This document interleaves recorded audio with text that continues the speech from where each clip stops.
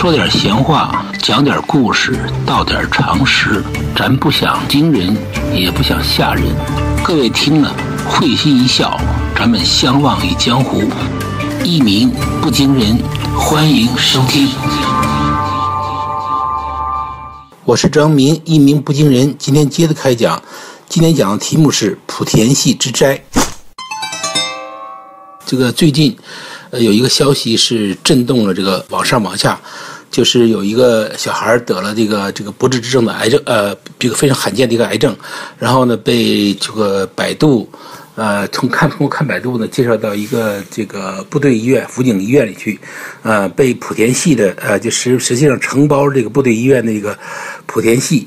的这个 这个民办医院。完了，给瞎治啊，是就是，呃，花了很多钱，然后这个不治身亡。呃，由于是呢，这个莆田系的事儿呢，又再一次被翻出来。实际上，这个民民办医院这个福建莆田系的这个这个这种灾祸呀，也不是一天了，在很长时间就是这样。曾经有过去有过报道，啊，就是说他们基本上，呃，就是呃。怎么说叫谋财？呃，原来是谋，或者是谋财伤身，或者是谋财害命，呃，这种现象是非常常见的。不用说他们个治每一个病人都是谋财害命，但是谋财谋财害命这样的事儿，在在他们这是常见的。就是说有病没病，反正到那去给你给你宰一刀啊，就让你就是说基本上说是病治病不是重要的，关键是怎么怎么从他怎么从你身上去弄钱。呃，这种呃现象，其实在中国医疗界啊，也不是偶然的。但是呢，在莆田系这个这种民办医院是这个身上呢，表现特别突出啊，特别突出。那于是这个民办医院的问题又被又被翻出来啊，被翻出来。那么 我其实我想到，就是在都是在现在中国啊，这个民办无论是办大学还是办医院，都办得很垃圾，而且不垃圾不能生存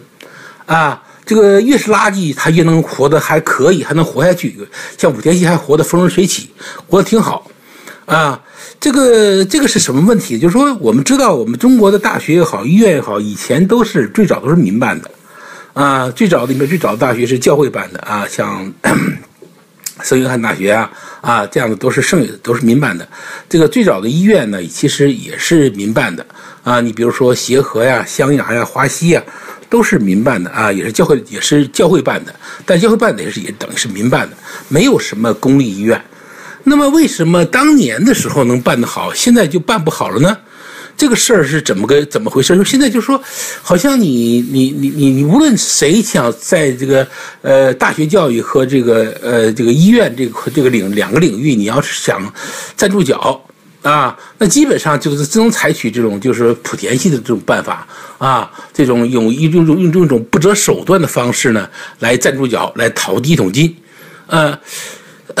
然后呢，可能才谈谈上转型。但是由于呃医疗它本身啊，医疗教育本身它就是一个特殊行业，如果一旦你把你的生意搞坏了，你即口即使是转型也非常困难。那么现在的问题是怎么？就是我们现在这个公立的呃这个份份额太大了，就是大学也好还是医院也好，实际上都是公立的，啊，都是国家办的啊，这个份额太大。那么给你的留的空间呢，虽然是政治上允许你是民营来办，但是空间留的很小，而且呢非常奇怪的是，这是我特别不解的一件事是，说你真的有，比如说比如说有特别多的钱啊来办呢。啊，你特别有雄，就是资资本雄厚的人，你还进还进不来这个领域，你还进不来。那么事实上，我们知道这个像就像就就讲就就像这个医疗领呃这个这个这个领域吧，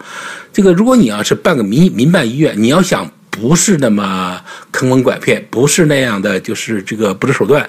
呃，你要想好好的办医院，那么你首先你得必须得财大气粗，你得有特别雄厚的资金来支撑你。就像我们当年，比如说协和医院开始办的时候一样，那钱特别多，他并不在乎。他说他并不在乎从这个在这个办医院来挣钱，他并首先是想，他是他就是想办医院，办医院来治病救人。所以说那穷人来看病呢，他免费。说首先你得有这个有有这个底气，就是说你首先你就是来办医院，你就是想救人的，你就是想治病的，你并不是想挣钱的。那么这样呢，你就可以先往里砸钱。有声誉了之后呢，才可能，比如说慢慢慢慢办好了以后呢，才有一点盈利啊。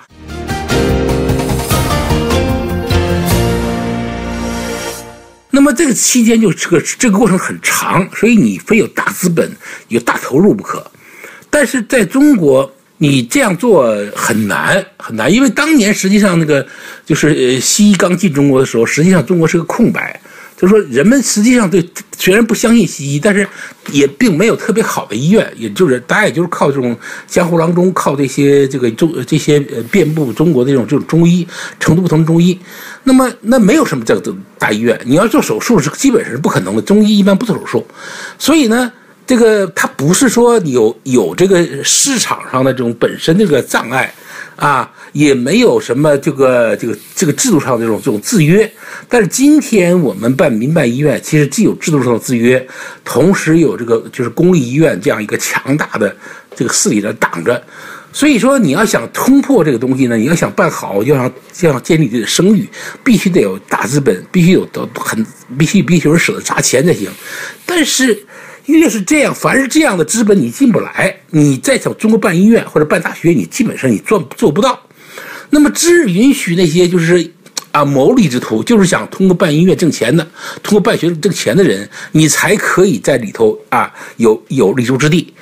那么，那么这些人呢，当然就是只能是说。呃，这个挖空心思啊，比如说开始什么搞性病啊啊，搞性病治疗啊啊，贴这个电线杆广告啊啊，钻空子啊啊等等的，甚至说呃这个什么这个啊，甚至说不不择手段引进这种梅毒啊，引进这种这个淋病啊，然后然后然后给自己打开市场啊，就利用人们不好意思呃到大医院去看这种这种性病的这样一个羞呃这种羞这种害羞心理，然后去打开打开。打开这个这个这个这个门路啊，啊，再有是什么搞这个这个人流啊啊等等的，就是说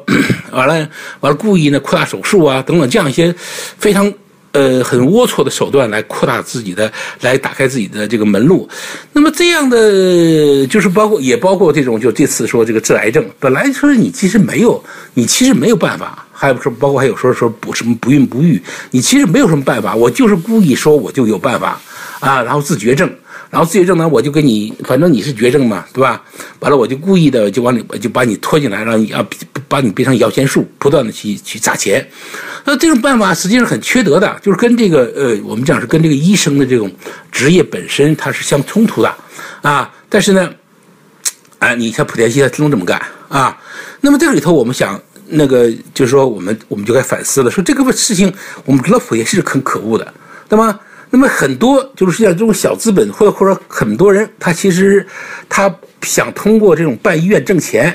这个本身就是这个本身他动机倒是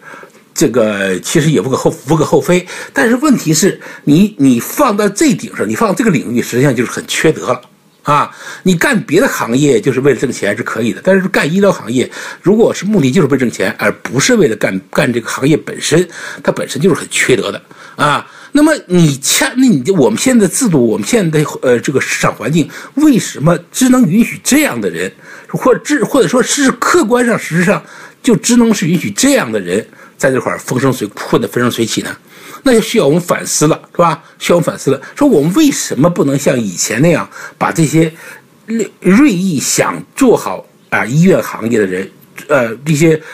弄进来呢？让他们就只有他们才能正经八本的去把从大医院里头挖那些好医生来，才才吸引那些正规院校或者海外留学回来的这样一些医学专家，你才可能把他吸引进来。否则，你就像莆田系这样的，实际上是不可能的。他只能是他顶多顶多的，相当于民办医院，就是说从大医院挖一点什么退休人员来，啊，这已经了不得了，啊。所以说，我觉得，如果说我们我们这个民办医院哈，还有民办大学也好，如果是还是按照这个路子去搞，这个环境还不能得到改善，那么可能我们像莆田系这样的这种灾祸，哎，中国还绝不了。一鸣不惊人，今天就讲到这儿。